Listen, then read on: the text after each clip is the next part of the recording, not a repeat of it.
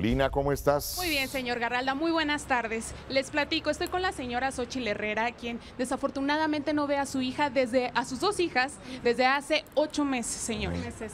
Ocho ¿Debido a meses qué? ¿Qué pasó? aproximadamente. Pues es que metimos violencia familiar, fue una discusión, metimos violencia familiar tanto mi expareja como yo. ¿Su expareja se los llevó? Sí, y se las llevó, las sacó del Me domicilio. comentaba que ya llevaba un proceso legal, pero no avanza. No avanza, totalmente me hace creer que es ayudado por, por los mismos del gobierno, ¿no? Porque él es funcionario público.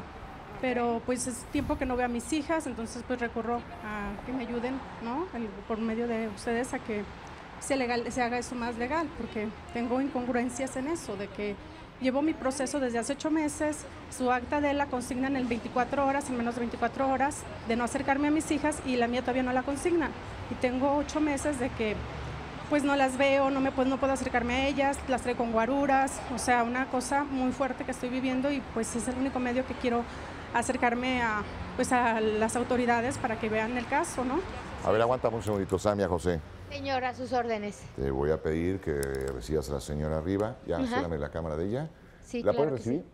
¿Cómo no, Este, señora, Te aquí? encargo que platiques con ella. Por supuesto, que no me señora, diga aquí ni le el espero con nombre mucho gusto. exacto ni dónde trabaja, ni a que te lo platique a ti para hacer dos, tres llamaditas. Sí, señor, claro que sí. Porque ya vimos a un magistrado que maltrataba a su pareja. ¿Te encargo, Samia? ¿La ¿Cómo no, recibes? señora? Aquí le espero con mucho No quiero gusto. meter más ruido para que no prevengamos a...